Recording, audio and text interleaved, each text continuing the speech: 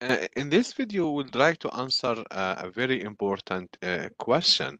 In the previous video, uh, which we compare between the shunt and the series motor, we have shown that the speed torque characteristic, and we said that we did that using some simulation, that the shunt motor has a linear relationship and a much better speed regulation that the series motor that we has like an exponential decaying uh, curve.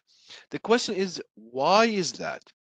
Why the shunt motor behaves like a linear and the series motor behaves like a nonlinear? All, all what we have done is just uh, moving the shunt field winding in and make it in uh, uh and make it in series with the with the armature. So here the field winding is in parallel with the armature winding. Here it's in series. How such a change makes such huge difference in the characteristic of the two motors. So let's start and see how we can derive the formula and come up with this conclusion. And we will start from the fundamental, from the basics, and we will build on that. If I have a piece of metal, and if this piece of metal is moving with a velocity v, with a length l, then and in a magnetic field B, then there will be an induced voltage equal to V cross B dot L.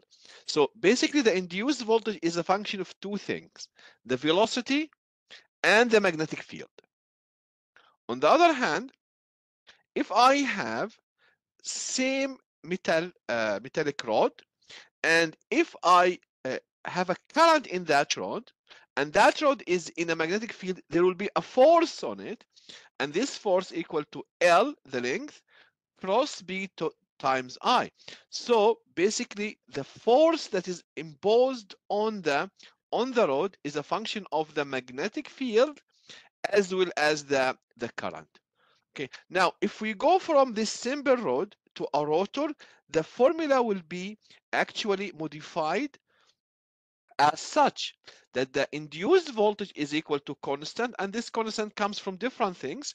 Uh, for example here is the length is a constant times the flux. And the flux here basically is represented as b the magnetic field. And omega omega is the rotational speed. Here it was a linear speed but because in the in the motor it rotates it will be omega. So phi and omega represent the V and, and the B. And here we have the force when we have a linear motion, but we when we have a rotation, we'll have a torque, which is the force times the radius of the, of the rotation. And again, it is a constant times the flux, which is B, times IA, which is the armature current or, or I. So these are the two relationship for actual actual motors. So we'll, we'll use these two relationships. And now let's move on and see how we the shunt motor behaves uh, differently than the series motor when it comes to the speed torque characteristic. So start from the basic. This is the shunt motor. We have the field winding with RF in parallel with RA and EA. And we have IS, this is the supply current. We have IF, and we have IA. Now, if we take a KVL in the outer loop, we will have VA, the supplied voltage equal to the induced voltage EA plus IARA, simple KVL. This is a very simple KVL. But from the previous relationship, we said that EA is equal to a constant phi times omega, and the torque is equal to constant phi times IA. So let's, let's substitute EA with its value and let's substitute IA with its value, which is the torque divided by Km phi. So we will have this relationship that the VA is equal to Km phi omega instead of EA plus RA times EA, IA, which is the torque divided by Km and, and the flux. Now, I want to have a relationship between the speed and the torque. So we'll have the speed in one side of the equation, in the torque in the other side of the equation, and we will have this relationship omega equal to va over km phi which is this part minus ra ta over km phi squared now if va is constant if the voltage that we apply is constant it means that the flux, because the flux or IF is a function of that voltage. So if I keep this voltage constant, I don't change RA,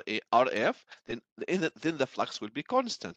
So it means that VA, KM, and the phi, and of course RA, all these are constants. So now I will have a relationship between omega and the torque with two constants, and the relationship becomes as such omega equal to a constant K1 minus K2 times the torque. And this is why for the shunt motor, we have this linear relationship. It has a negative slope, which is the K2, and at no load, when there's no torque, when TE is equal to zero, the no load speed is VA over Km times uh, times phi. So that explains the linear relationship that we have it in the shunt motor. Let's go to the series motor. Now in the series motor, the field and the armature, they are in series. So my KVL equation, VA equal to EA plus IA or IF, but now, now I will call it IA times RA plus RF because IF and IA is exactly the same because everything is in series.